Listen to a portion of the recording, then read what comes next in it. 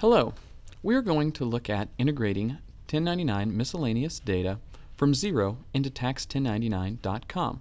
To start, click Reports, then All Reports. From the Reports tab, select 1099 Report. Then select the year in which you would like to import.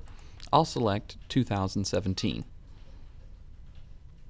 Once you have the year selected, you can create rules for filling out the 1099 miscellaneous form. This is where you'll select each account in the chart of accounts to map to a particular box on the 1099 miscellaneous form. To add a rule, click Add Rule and select the account and then select the box. Then click Save once you've completed all the mapping you would like to do. Xero shows me that I'm missing information that is necessary to file 1099s to the IRS. I can update this information by clicking on the contact. Here I see I'm missing an address. I can add that address or any other missing information and then click Save to continue. I'm going to leave this contact incomplete to show you how Tax 1099 handles missing information. Once I've created my rules and see that I have all my contacts in which I need to issue a 1099, I'll select Use eFile Services, then select Tax 1099. I'm getting a warning from Xero letting me know that I'm missing information. I will click Yes to proceed. If you're not already a user of Tax 1099, you'll be asked to create an account. If you are an existing user, you can click on Login then enter your username and password. Once you've logged in to Tax 1099, you'll click Xero Connect and select the year in which you want to import. Since I have more than one organization, I will select the organization I would like to import. Then allow access.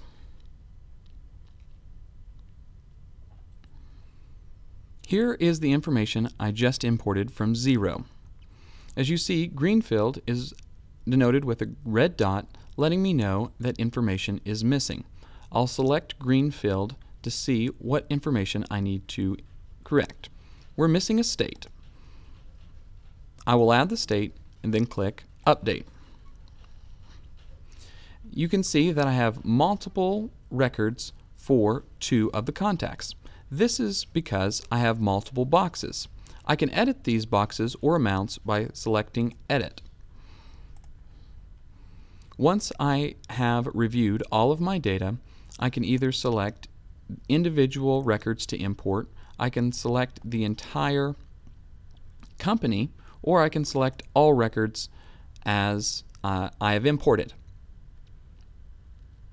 Once I've selected all of the contacts I would like to import, I'll hit Next.